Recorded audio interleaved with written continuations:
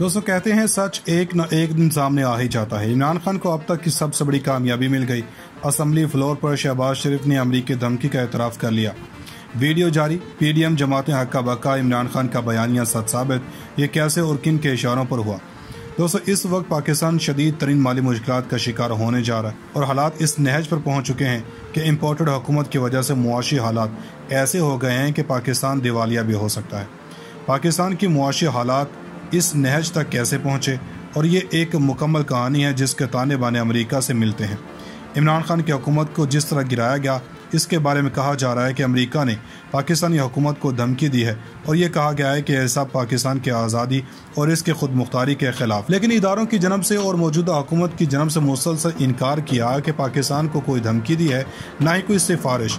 लेकिन D G I S P R ने कौमी सलामती कमेटी बयान दिया तो इन्होंने कहा कि पाकिस्तान के अंदर मुदाखलत हुई है, लेकिन साजिश का लफ्ज़ कौमी समिति के इलामी में नहीं हुआ।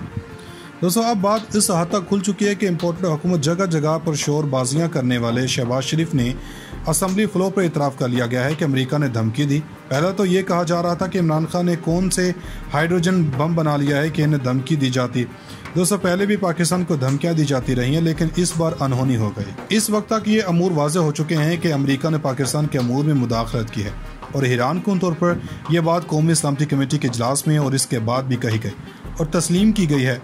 पाकिस्तान के वाशिंगटन में मौजूद सिफारत खाने की जन्म से पाकिस्तान के मुतल इदारे को मरासले में रजीम चेंज कर के लिए अमरीका ने धमकी के साथ अपनी ख्वाहिश का इजहार भी किया है। दोस्तों, पाकिस्तान में रजीम चेंज से हुकूमत तो खड़ी हो चुकी है, लेकिन इसके खिलाफ पाकिस्तानी अवाम भी डट कर खड़ी हो गई है। सियासी लोटा करेसी के ज़रिए जिस तरह पाकिस्तान की सियासत में जो नकब लगाई गई, इसको पाकिस्तानी अवाम ने इंतहाई नफरत की निगाह से देखा। दोस्तों, पाकिस्तान तरीके इंसाफ के चेयरमैन ने अवाम के सामने इस तरह रखा कि अवाम अब सब खेल समझ चुके हैं। और अब आवाम इस इम्पोर्टेड हुकूमत के खिलाफ मुतहद हो चुके हैं। और इसका अंदाज़ा इस बात से लगाया जा सकता है कि पाकिस्तान और बैरून मुल्क में पाकिस्तान इकट्ठे हो गए। इमरान खान भी इस खेल को समझ कर खेल रहे हैं। इम्पोर्टेड हुकूमत के खिलाफ अपना बयानिया एक लफ्ज़ पर मुरतकज़ कर चुके हैं। जो ये है कि मुल्क में नए इंतबात जल्द से जल्द होने चाहिए। बुनियादी सियासी जमातें यही काम पिछले तीन बरसों से कहती चली आ रही हैं, लेकिन अब इन इंतबात से भाग रहे हैं। नए इंतबात से मुल्क में रजीम चेंज के ज़रिए खुली मुदाखलत ख़त्म हो गई है। मुल्क में आज़ाद खारजा पॉलिसी की रिवायत पड़ेगी। धमकियों वालों को भी जवाब मिलेगा। और इमरान खान का यह बयानिया भी कामयाब हो जाएगा। हम दोस्ती इस सबसे करेंगे, मगर गुलामी किसी की नहीं करेंगे और आइंदा आने वाले हुक्मरानों के लिए ज़रूरत की एक नई मिसाल कायम हो जाएगी। जरूरतमंदी का मुजाहरा करते हुए पाकिस्तान के बैरूनी और दाखिली मामला के मुस्तबिल के लिए बेहतरीन हमत अमली तय हो जाएगी। पाकिस्तान के एक तरक्की करते हुए खुशहाली रियासत बनाने के आज़म पर तमाम इदारे मुतफिक हो जाएँगे।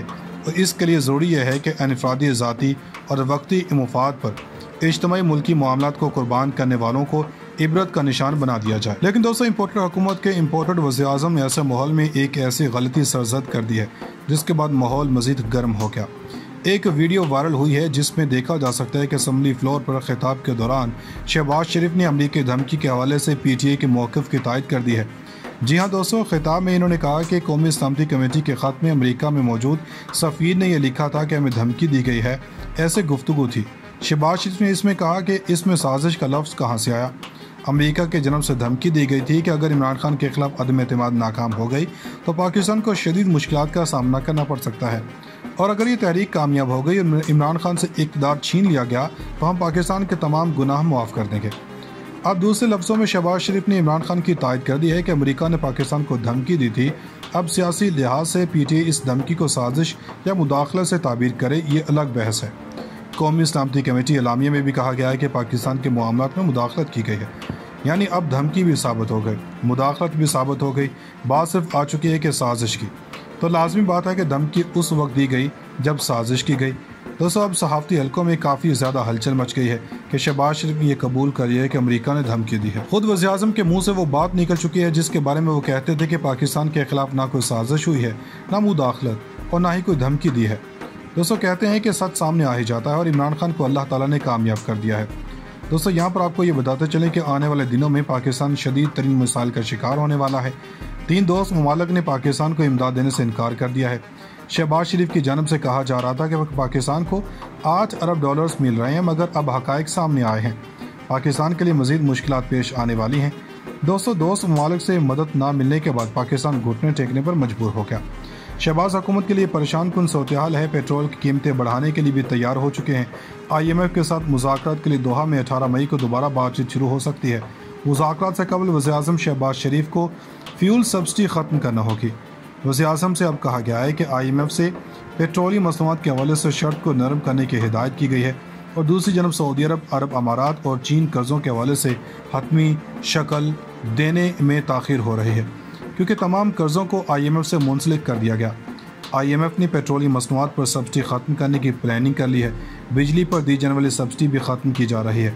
पाकिस्तान आई एम एफ़ के दरमियान अठारह मई को मुजाकर कतर में होने हैं, जो अगले दस रोज़ तक जारी रहेंगे, जिसके लिए मौजूदा हुकूमत तैयारी कर रही है, ताकि कर्ज के शराय को आसान किया जा सके। आइंदा बजट तजावीज़ जेर गौर आएँगी, और हुकूमत वक्त पेट्रोलियम मसनूआत की जो पैंसठ अरब दे रही हैं और दो सौ मौजूदा इकदाम इम्पोर्ट हुकूमत के खिलाफ होते जा रहे हैं और इतने खिलाफ के इम्पोर्ट हुकूमत के लिए बचना मुश्किल है और मुमकिन तौर पर इतने ख़राब हो जाएँगे कि आने वाले वक्त में इस हुकूमत का बचना मुश्किल हो जाएगा।